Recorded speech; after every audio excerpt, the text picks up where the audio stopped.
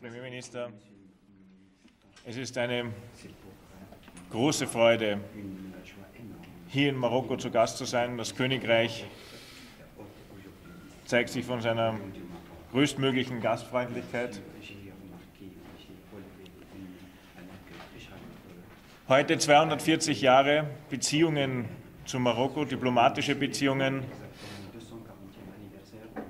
Und dieses Jubiläum nutzen wir beide, um unsere Beziehungen auf eine neue, höhere Ebene zu stellen. In der Deklaration sind wichtige Themen enthalten. Einerseits die wirtschaftliche Zusammenarbeit und gleichzeitig aber auch die Zusammenarbeit in Sicherheitsfragen, vor allem dann, wenn es um den Kampf gegen illegale Migration geht, gegen Terror. Zusammenarbeit basiert auf zwei wesentlichen Faktoren, auf Freundschaft und Vertrauen. All unsere Treffen haben das gezeigt. Wir haben substanzielle Fortschritte erreicht, dass wir die Zusammenarbeit gerade in Sicherheitsfragen auf ein neues Niveau heben, indem wir regelmäßige Treffen unserer Institutionen vorgesehen haben, um eben rasch agieren zu können, wenn es Probleme gibt, wenn es darum geht, rasch auch marokkanische Staatsbürger zurückzubringen, die nicht in Österreich bleiben dürfen. Und gleichzeitig ist uns beiden Staaten wichtig, die Zusammenarbeit so zu stärken, dass wir vor allem im wirtschaftlichen Bereich neue Möglichkeiten erschließen. Das Königreich Marokko ist ein Hoffnungsträger im Bereich der erneuerbaren Energie. Wenn es darum geht, grünen Wasserstoff zu produzieren und damit wichtige Energie für Europa. Darüber hinaus wird Österreich seine Brückenbauerfunktion in die Europäische Union weiter nutzen. Einerseits um die Anliegen Marokkos als nordafrikanischen Staat sichtbar zu machen, aber vor allem auch um die Kompetenz und das Wissen und die Erfahrung Marokkos zu nutzen, wenn es darum geht, die Politik der Europäischen Union gegenüber Afrika zu stärken und auszubauen.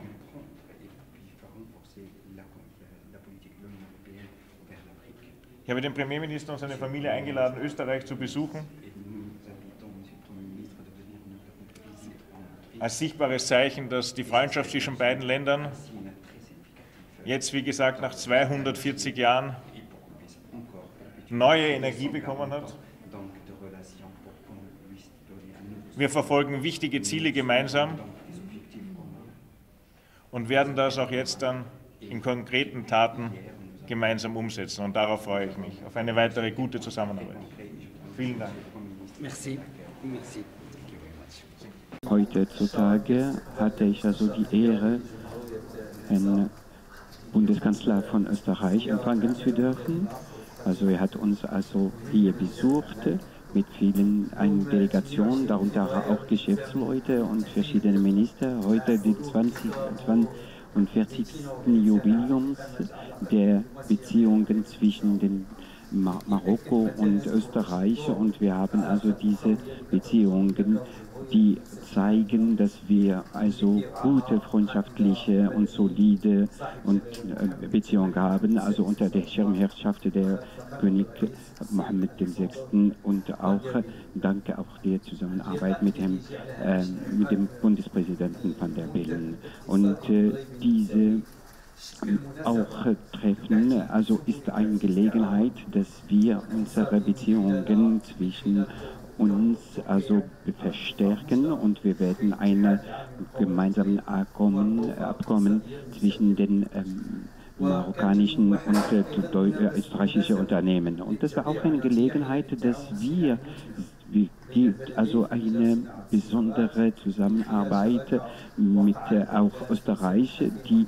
1921 bereits ein Abkommen im Industriebereich und seitdem sind wir dabei, die ähm, Arbeit, diese Arbeit zusammen fortgesetzt. Und wir haben auch verschiedene Themen zusammen gesprochen, zum Beispiel über Sahara und auch diese Zusammenarbeit zwischen Parlamentariern und auch über Immigration und über rechtlichen auch Zusammenarbeit. Und was ich dazu noch sagen musste, dass wir werden eine Zusammendeklaration äh, hier veröffentlichen zwischen Marokko und äh, Österreich, wird veröffentlicht, also der verschiedenen Bereichen der Zusammenarbeit ähm, erwähnt wird. Und wir haben am Ende gesagt, dass wir überzeugt sind, dass wir mehr also Zusammenarbeit verstecken müssen und dadurch müssten wir diese 240-jährige Zusammenarbeit auf verschiedenen auch Ebenen und Bereichen verstärken. Und ich bedanke mich, Herr Bundeskanzler, für Ihren Besuch hier bei uns in Marokko. Sie haben ein Abkommen mit Marokko unterzeichnet, scheint es vor allem um illegale Migration und Sicherheit zu gehen. Aber was konkret ist da vereinbart worden? Zum einen war der Besuch wichtig, um eben auch das Vertrauen beider Staaten auszudrücken. Wir sind erst das zweite Land nach Spanien, das so ein Abkommen überhaupt erreicht hat. Ziel ist es einerseits tatsächlich, Marokkaner, die nicht in Österreich bleiben dürfen, schneller zurückzubringen in die Heimat.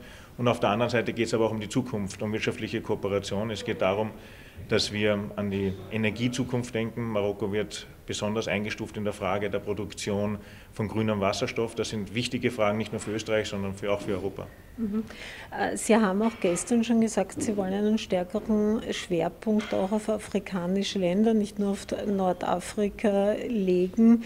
Ist es auch der Versuch, unabhängiger zu werden, zum Beispiel von China, von Russland und Co., eben bei den Fragen, die Sie jetzt gerade angesprochen haben?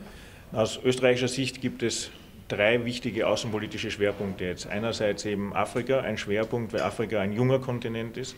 Auf der einen Seite mit unglaublich viel Rohstoffen und aber auch jetzt vielen Möglichkeiten und Potenzialen, schon grüner Wasserstoff erwähnt.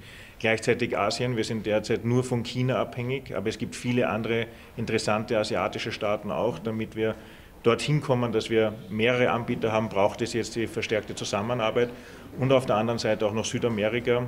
Südamerika ist ein Kontinent, der auch da für Europa wichtig sein kann. Der Wirtschaftsminister arbeitet jetzt sozusagen den Bundeskanzlerbesuchen nach und wird hier vertiefend jetzt Wirtschaftsgespräche, Wirtschaftskooperationen führen. Ich habe jetzt schon eine Wirtschaftsdelegation mitgehabt und genau das soll das Ziel sein. Mhm. Ich komme noch einmal auf illegale Immigration und das Abkommen zu sprechen. Es hatte schon seinerzeit der Justizminister Brandstätter, das war noch zu rot-schwarzen Zeiten, eigentlich äh, dieses Abkommen äh, angestrebt, dass man Inhaftierte, also marokkanische Inhaftierte in Österreich zurückführen könnte nach Marokko, damit sie hier ins Gefängnis gehen. Haben Sie das jetzt besiegelt? Auch da ist tatsächlich ein Fortschritt gelungen, zeigt auch da wieder die Vertrautheit jetzt zwischen den beiden Staaten. Es wurde das Übereinkommen jetzt so vorunterzeichnet. Das heißt, es ist tatsächlich möglich, verurteilte marokkanische Straftäter in Österreich nach Marokko zu bringen und dort können sie dann die Haftstrafe absitzen. Gut, Dankeschön.